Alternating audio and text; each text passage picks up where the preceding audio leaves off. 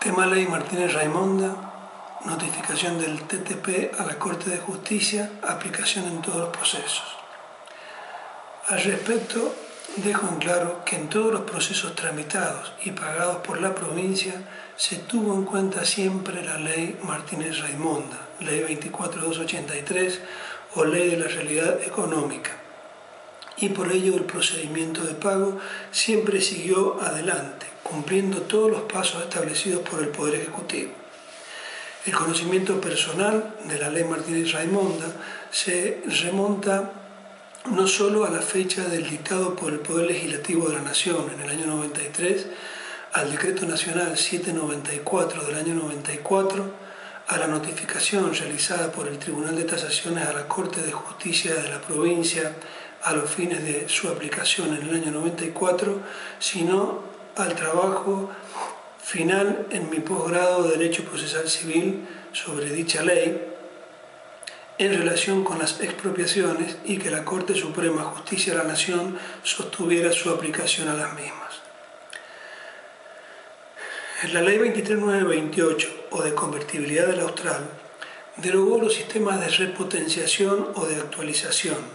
y la Ley 24283, complementando la misma,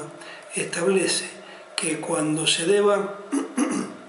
actualizar el valor de una cosa o bien o cualquier otra prestación aplicándose índices, estadística o cualquier otro mecanismo establecido por acuerdos, normas o sentencias, la liquidación judicial o extrajudicial resultante no podrá establecer un valor superior al real y actual de dicha cosa, bien o prestación al momento del pago. Lo que no dice el gobierno de la provincia y que no solo surge del Decreto Nacional 794 del 94, sino del propio decreto dictado por el Poder Ejecutivo Provincial 3022 del 94, ratificado por la jurisprudencia de la Corte Suprema de Justicia de la Nación, es que los intereses no forman parte de la determinación del valor actual de la cosa, bien o prestación, porque es un instituto totalmente distinto que no hace al valor o a la formación del valor de la cosa, bien o prestación, sino que se aplica a situaciones totalmente diferentes, como es por ejemplo el caso de la mora en las obligaciones. En idéntico sentido, y siguiendo la ley nacional y el decreto nacional 794 del 94, lo establece el decreto provincial en su artículo quinto,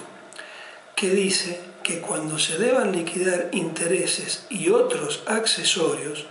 los mismos no se computarán para determinar el valor actual de la cosa bien o prestación, por lo que los montos de los procesos responden, además del valor fijado, a los daños directos que ha producido la expropiación e intereses. Recordar esto para cuando les hable de la nueva ley 7966 de expropiaciones. Pero lo importante de todo esto es que en la causa Ruiz, que el fiscal de Estado sostiene que el juez actuó mal, que la administración pública actuó mal, que Fiscalía actuó mal, aclaro. A. El magistrado dictó una sentencia en base a un planteo jurídico que tenía fundamentos en varias razones, entre ellas lo que había resuelto el Tribunal de Tasaciones en otra causa que tramitó por ante el noveno juzgado en lo civil comercial y minería, Moreno Pérez de Fernández contra provincia de San Juan, expropiación inversa, y que la titular del mismo, la doctora de la Torre de Llanzón, se sentenció en igual forma, siendo este uno de los antecedentes de aquel, además de basarse en la realidad económica y en otros parámetros. Esto quiere decir que distintos jueces han sentenciado en distintos casos en forma similar y en base y conforme a la sana crítica a lo dictaminado por un órgano técnico y a otras razones probadas en el expediente. En cuanto a los pagos, se cumplió con la normativa que hoy dicen algunos medios de prensa no se tenían antecedentes, lo que es falso, ya que en virtud de dicha normativa mi parte cumplió con la ley